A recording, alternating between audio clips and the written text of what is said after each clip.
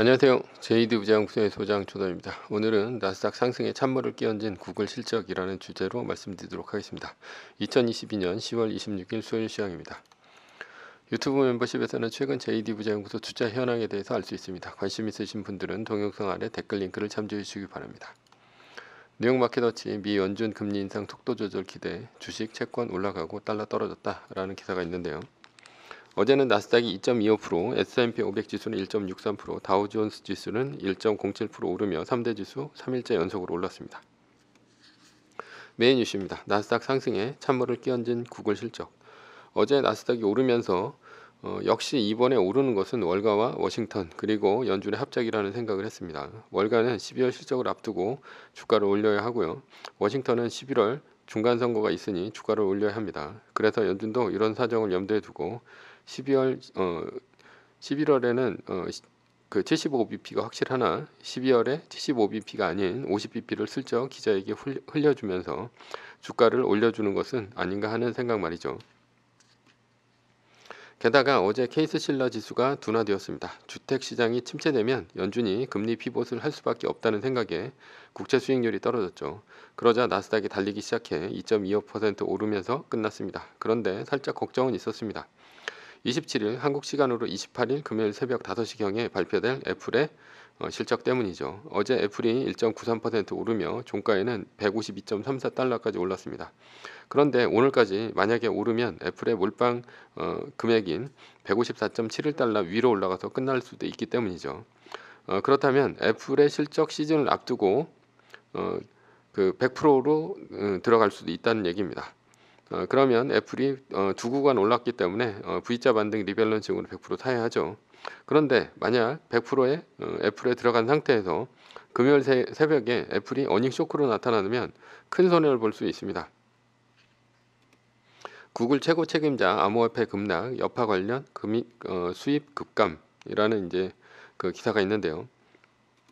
그런데 오늘 새벽에 구글이 실적 발표를 했습니다. 그리고 장외에서 7% 어, 넘게 폭락 중입니다. 이유는 구글의 광고 매출이 감소했기 때문입니다. 물론 내일 새벽에 어떻게 끝날지는 모르죠. MS도 마찬가지로 2% 정도 떨어지고 있습니다. MS는 매출과 순이익 모두 어, 시장의 예상치보다 높게 나왔으나 클라우드 매출이 떨어지고 환차손과 엑스박스의 실적 부진 때문에 어닝 쇼크로 어, 보입니다.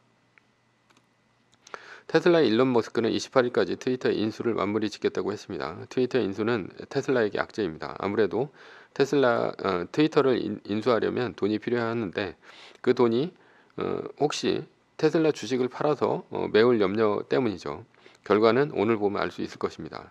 이런 악재가 겹치며 결국 나스닥 선물이 2% 이상 빠지면서 폭락 중입니다. 결론입니다. 구글 때문에 애플의 실적 발표를 애플 50% 달러 50%로 맞게 생겼습니다.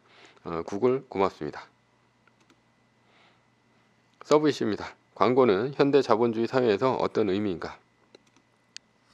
상업 자본은 공간의 차이를 이용해 돈을 법니다. 대항해 시대 어, 유럽의 상업 자본은 어, 주식 회사를 만들어서 중국, 일본 등에서 수입한 도자기를 어, 수입해서 돈을 벌었죠. 이유는 사고 싶은 생산물이 동양에서만 나왔기 때문입니다. 동양에서는 차, 도자기, 향신료, 면직물 등 음, 소비하고 싶은 상품이 모두 동양에서만 나왔습니다.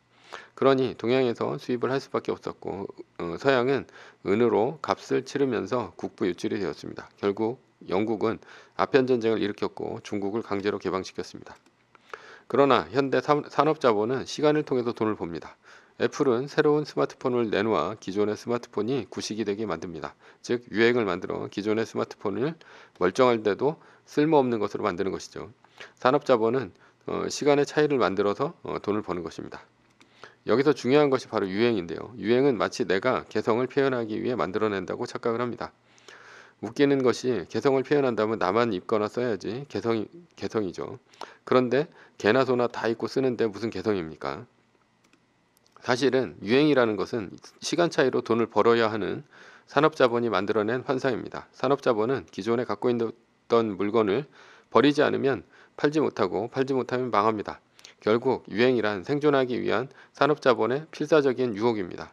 유행을 따른다는 것은 산업자본의 논리에 포획되었다는 얘기죠. 그렇다면 유행을 만들려면 필수적인 것이 무엇입니까? 그것이 바로 이제 광고입니다. 예전에는 TV 시청률이 중요했습니다. 왜냐하면 대중매체는 TV밖에 없었기 때문에 모두 TV를 봤죠. 그래서 시청률이 높은 드라마에 광고가 많이 붙었습니다. 요즘에는 스마트폰이 나오면서 매체가 다양해졌습니다. 넷플릭스와 같은 OTT, 음, 구글과 같은 검색 엔진, 페이스북, 틱톡, 유튜브와 같은 동영상 플랫폼으로 분산되었죠. 그래서 이들 기업의 대부분의 수입은 광고에서 나옵니다. 광고의 역할은 무엇입니까? 인간의 욕망을 자극하는 것이죠. 욕망은 남들과 다르다는 것을 보여주려는 구분짓기입니다. 보드리아는 보, 보드리아르는 이러한 욕망을 기호가치로 했습니다. 자본주의에 산다는 것은 매혹적인 신제품 광고에 노출될 수밖에 없습니다. 그래서 누구나 무의식적으로 소비를 합니다. 그러나 자본주의에서 소비만 한다면 노예입니다.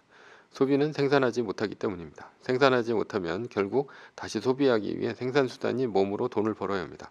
반면에 자본가로 산다는 것은 매력적인 기업의 상품이 아닌 주식을 사는 것이죠.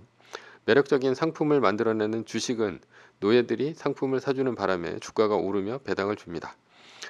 어, 자본가는 주식을 사서 돈을 생산합니다. 결론입니다. 세상에서 제일 매력적인 상품을 만들어내는 기업이 시가총액 1위 기업입니다. 그리고 그 기업의 주식을 가진 자가 진정한 자본가입니다. 매뉴얼입니다. 세계 1등 주식은 전고점 대비 2.5% 떨어질 때마다 어, 10%씩 팔면서 rebalancing을 하다가 나스닥 마이너스 3%가 뜨면 말뚝을 박는 것입니다. 그러다 반등이 시작되면 V자 반등 rebalancing을 하면 됩니다.